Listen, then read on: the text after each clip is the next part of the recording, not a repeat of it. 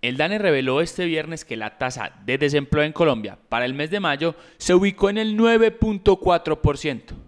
Esta estuvo 0,6% por encima del mismo mes del 2016, cuando fue de 8,8%. Asimismo, la tasa de participación fue de 63.9% y la de ocupación de 58,2% para el mismo periodo del 2016. La variación se explica fundamentalmente por el cambio positivo en la tasa de participación de las 23 ciudades y áreas metropolitanas. Esto se presenta con el nivel más alto de ocupados, 22.263.000 personas, para los meses de mayo, desde que hay cifras comprobables desde el 2001, aclaró el DANE en un comunicado. De otro lado, en el trimestre móvil marzo-mayo de 2017, la tasa de desempleo para el total nacional se ubicó en 9,3%, la tasa de participación en 64,3% y la de ocupación en 58,3%.